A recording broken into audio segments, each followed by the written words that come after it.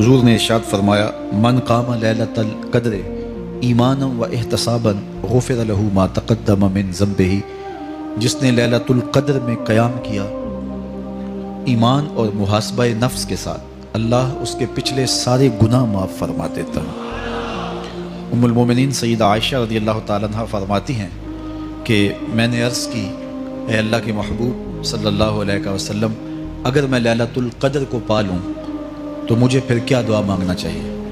तो हुजूर ने इरशाद फरमाया, अगर तुम लैलतुल कद्र पा लो तो ये दुआ मांगो अल्लाह इन्न का अफूवन तो हिब्बुल अफ़वा, फ़ाफ़ अन्नी। है अल्लाह, तू माफ़ करने वाला है, माफ़ करने को पसंद करता है।